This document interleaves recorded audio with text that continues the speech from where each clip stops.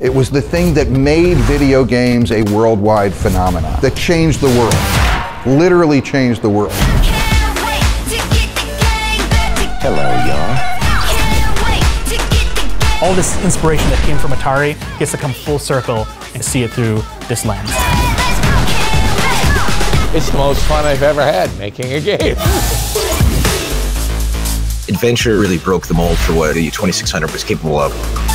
In the beginning, there was only Atari, and the children looked upon it and saw that it was good.